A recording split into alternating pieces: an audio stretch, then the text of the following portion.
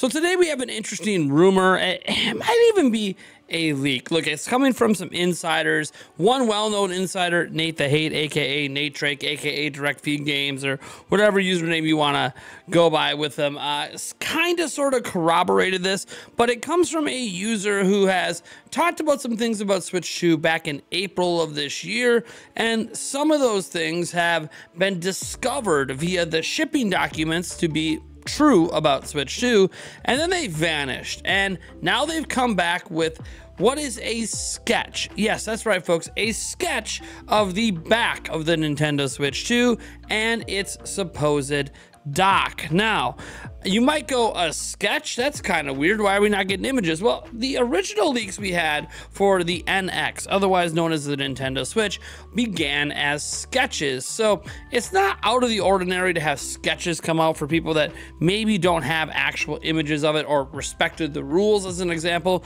Sometimes when you're around and dealing with a product, uh, dealing with a dev kit, sometimes you can't have your phones on you and stuff like that.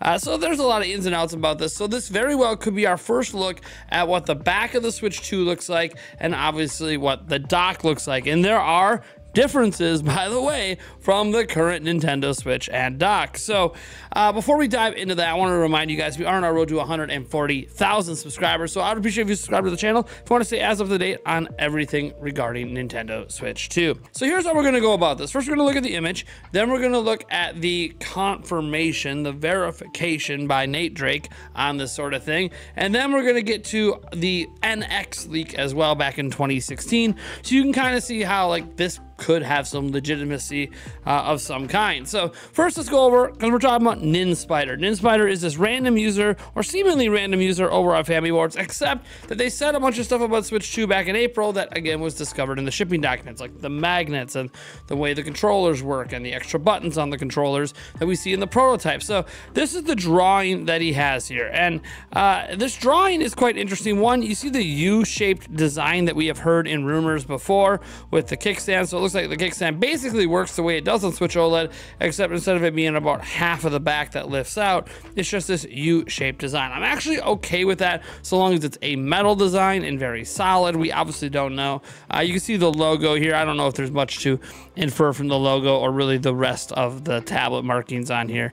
I don't really think there's much to really say here, uh, or the fact that you can see through the damn thing with the lines. Is obviously just a very crude drawing. But then you go over to the dock, and oh boy, does that Nintendo dock look like a thick boy, a thick one. First off, it's using a very rounded design. You can see a very rounded design, even on the back that's rounded up and then rounded around the edges. But the dock design is obviously very, very thick. This actually goes along with the Burj Khalifa stuff, which is something NinSpider talked about all the way back in April when he noted that if you look at it from the side, it looks like the Burj Khalifa, which does have a little bit of a design like this. So uh, that's a very fascinating design. You see a couple USB ports on the side, so they still have some external USB ports. Why it's so thick, that's a pretty good question. There has been speculation that one of the fans that we saw in the shipping data is actually for the dock. That could explain some of the thickness of the dock that there's an internal fan.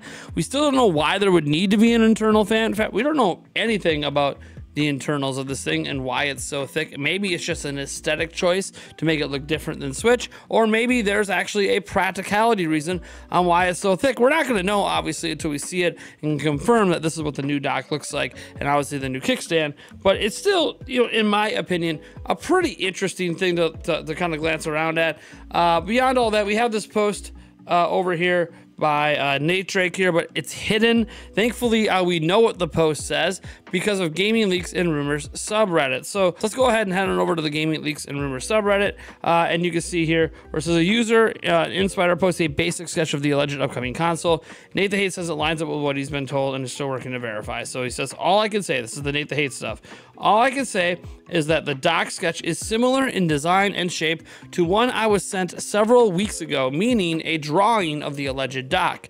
But I've been working to verify it. Whether this design has circulated Chinese forums or not, I don't know. But the general design matches what I was sent in September. Again, I haven't verified the design with any contact or source at this time. So what he's saying is he has no verification of this. However, it is something that he was sent back in September. And now, you know, he's not saying it's that exact sketch, but one that is very similar. Now, I want to kind of remind you guys that we have had leaks like this before. If we go all the way back to this Nintendo Insider website from back in September of 2016, which again would match the September timeframe in which, uh, you know, uh, Nate the Hate's claiming he got his hands on stuff. Um, we say, you know, it, they say it's believed to be fake, but who really knows? Uh, this is before we even knew what Switch was, and it shows this NX design with the detachable controllers here. We obviously don't know what this stuff is. Some people thought this was fake. Some people thought it was real. We know this part's at least pretty accurate to what the final design of the Switch was.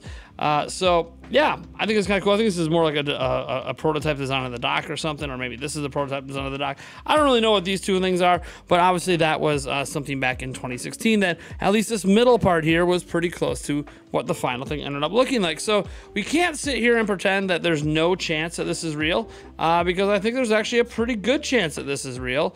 And that's just because this is the kind of stuff that happens around the time when we haven't had a system revealed. When a system hasn't been revealed, but we're getting closer and closer to reveal, these are the kind of things that tend to leak out. You tend to get some crude drawings of things. You tend to hear a few whispers. Again, there's been whispers of journalists talking about how it might be revealed towards the uh, end of October. I don't know how much validity there is in that since I haven't seen a journalist actually say it out loud. So it sounds like behind the scenes chatter if it's anything. But again, this is just a very fascinating leak. Looking at this again, that is just such a really cool design on the dock that I presume is because there's more going on inside that dock than we're accustomed to. Usually, you know, in the current dock, it's just a little tiny board and it's mostly just kind of empty plastic. And maybe it's mostly empty plastic here and this is just an aesthetic thing to make it stand out and make it look like it's beefier. Or maybe it just has to do with faster charging, so they need more cooling in there, or they're delivering more power to the unit, so there's bigger capacitors that maybe have their own heat sinks. And so if they have heat sinks on the board in there, then they need to make it thicker. I don't know. There's a lot of reasons that they could do it that doesn't involve throwing a fan in there, but uh, I'm just really glad to see that this is the sort of stuff coming out right now.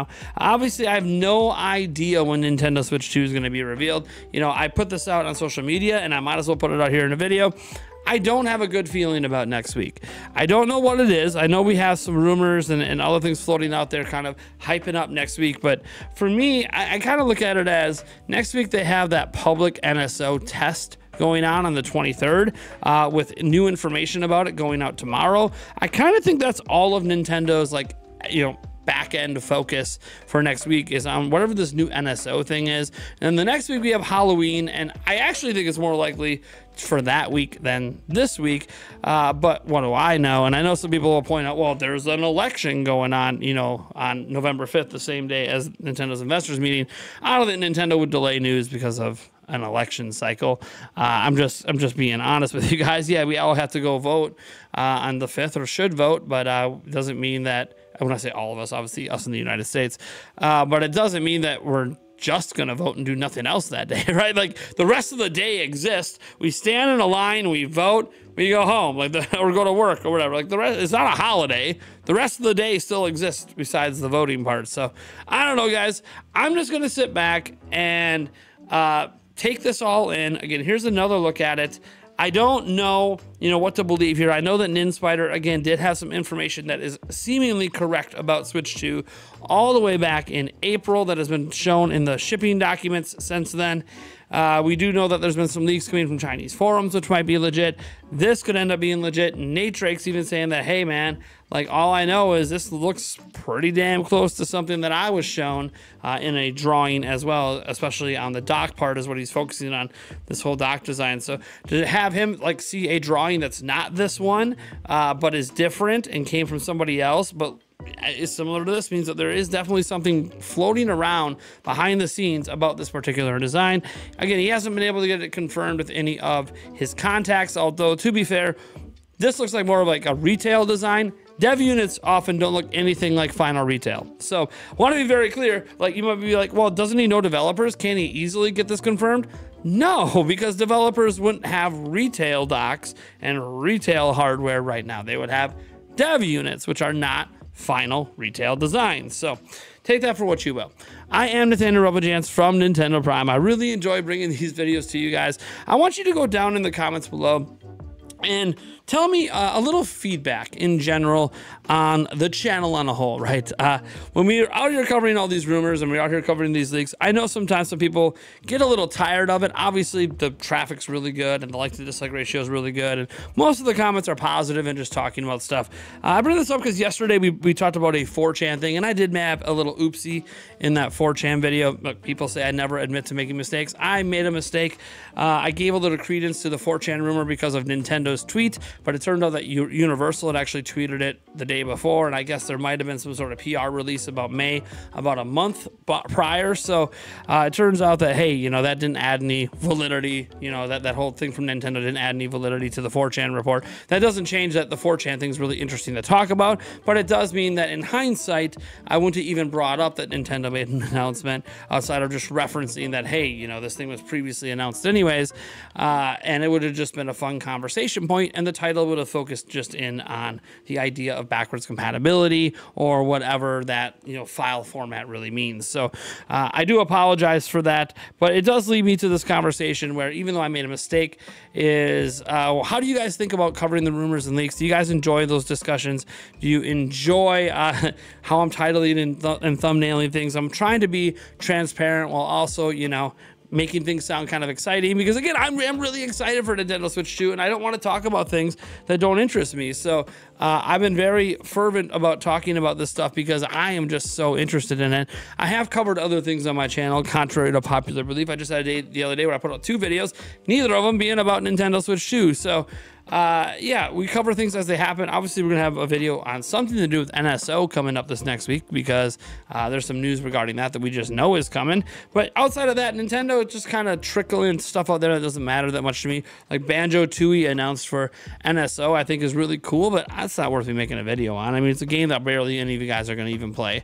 Barely any of you guys play growing up, let alone are going to go to NSO to play. So, um, I'm just going to sit back and take some of that feedback in, see what you guys have to say about it, and uh, we'll see how we kind of shape or change how we're doing things moving forward, if at all. Again, I really enjoy what I'm doing talking about Switch 2, and that's also part of my consideration. Is like, I love this, man. Uh, it is so fun to talk about this stuff every day, but what's fun for me isn't always fun for everyone else. Thank you guys so much for tuning in, and I'll catch you in the next video.